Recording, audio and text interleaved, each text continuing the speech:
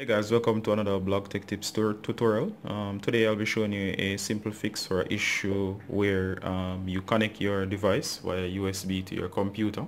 As you can see here with this um, Samsung Galaxy S4 and you might be trying to get off videos off your um, device.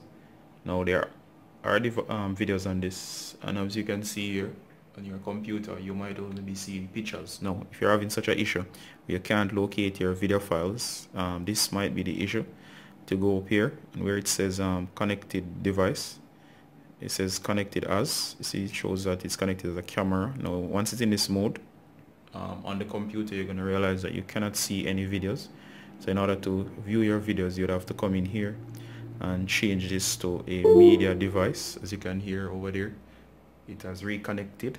And of course when you check back your files now you should be able to see your files um, video files right? To actually browse that um, file so you'd have to actually go into the phone if I can maximize this here. You have to find the folder called um, DCIM as you can see there. Once you go into DCIM go into camera and say in camera you can actually the device will actually start loading.